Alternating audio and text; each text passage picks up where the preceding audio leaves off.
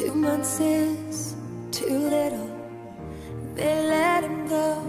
They had no sudden healing.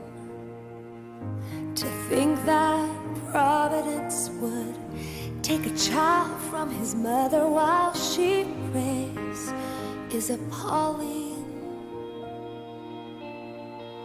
Who told us we'd be rescued?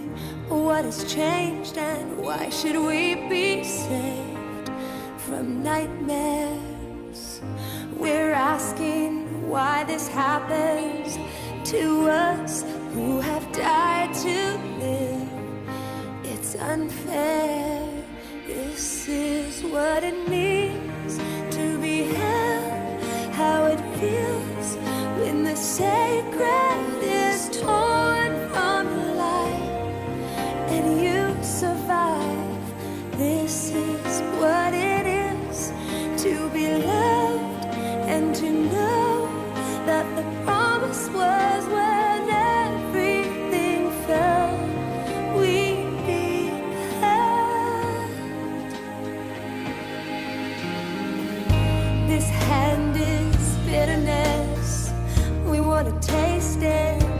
the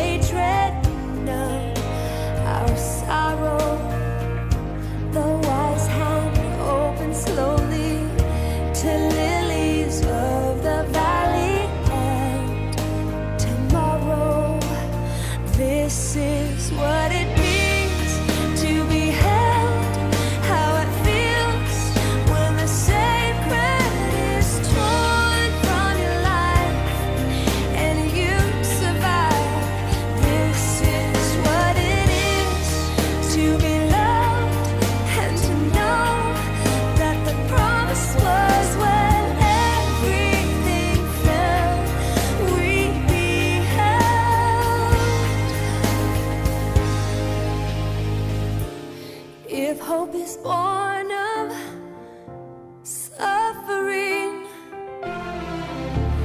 If this is only the beginning, can we not wait for watching for our Savior?